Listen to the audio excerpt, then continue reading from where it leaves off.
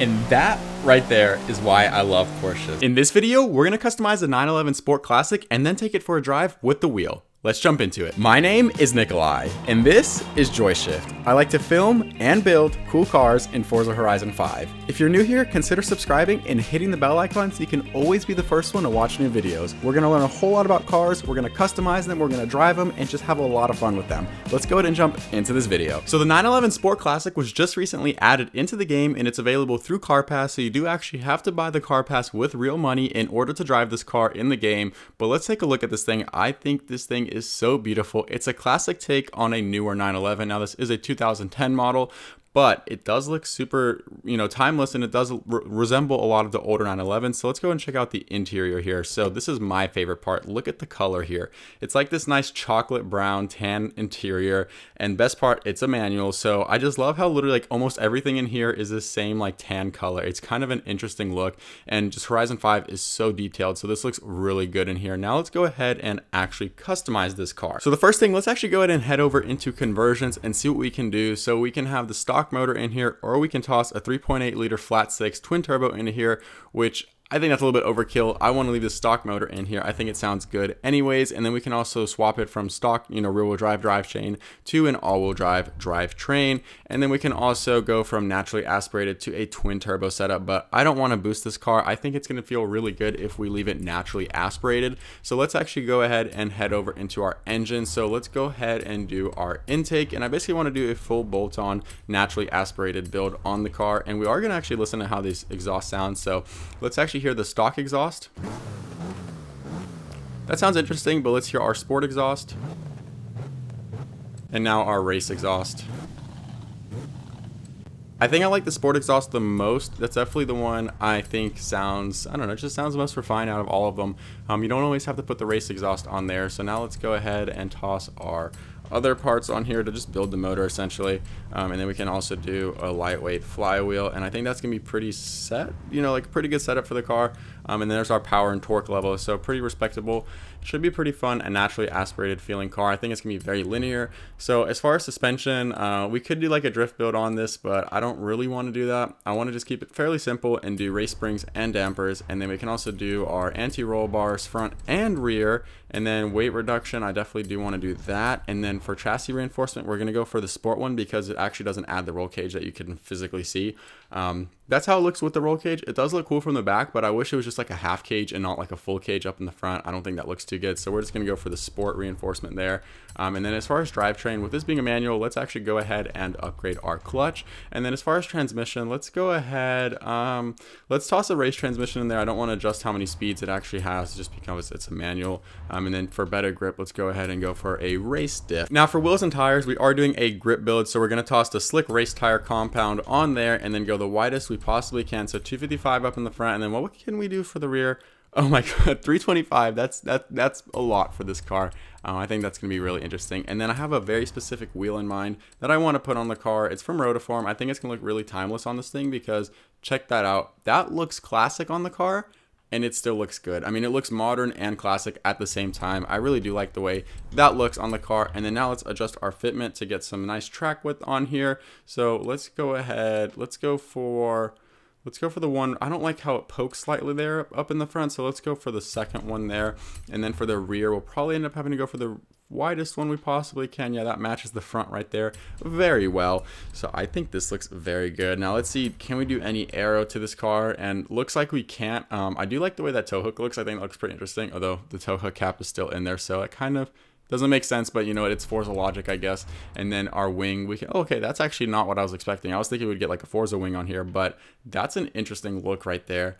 Um, I don't think I want to put it on there. I like the design of it without it. I think Porsche knows what they're doing, and this thing just looks really good. So now let's go ahead and head over into our paint setup so we can do all of that to the car and just see what we can make this thing look like because I do want to leave the same color on there um, I feel like it's pretty timeless and I don't want to ruin that. So I do want to definitely do something to the wheels though, because I don't like that gold on there. I'm going to do just paint group one, which is going to be the face here. So I want to go ahead and toss one of these metals onto it. So I, I don't want like the bronze that was on there.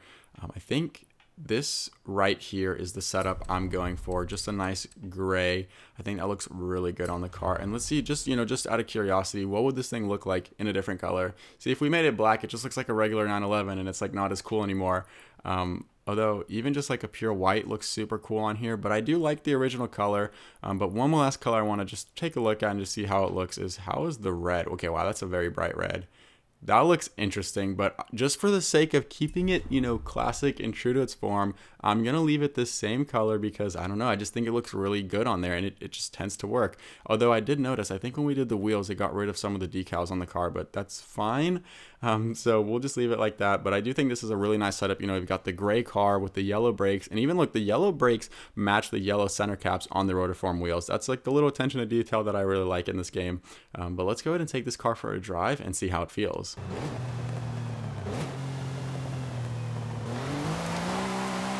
And that right there is why I love Porsches. This thing is so controllable and it sounds so incredible.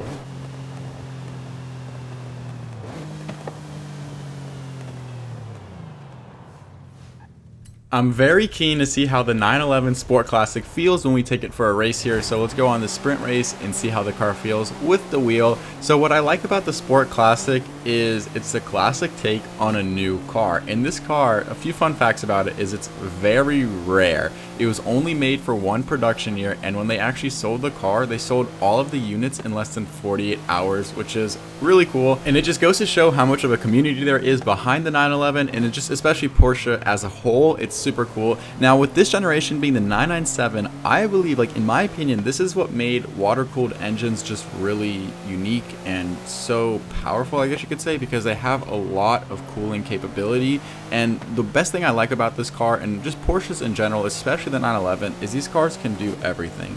Now, I mean, I was going to say they can't go off-road, but now that I think about it, there's a lot of Rally 911s out there. I actually have a Rally 911 video on my other channel where I do everything real car related, so I'll link it down in the description and also tag it above here. You don't see a car like this too often. So this is a 1981 Porsche 911 Safari car. It's really interesting, so let's just go ahead and show you guys the car.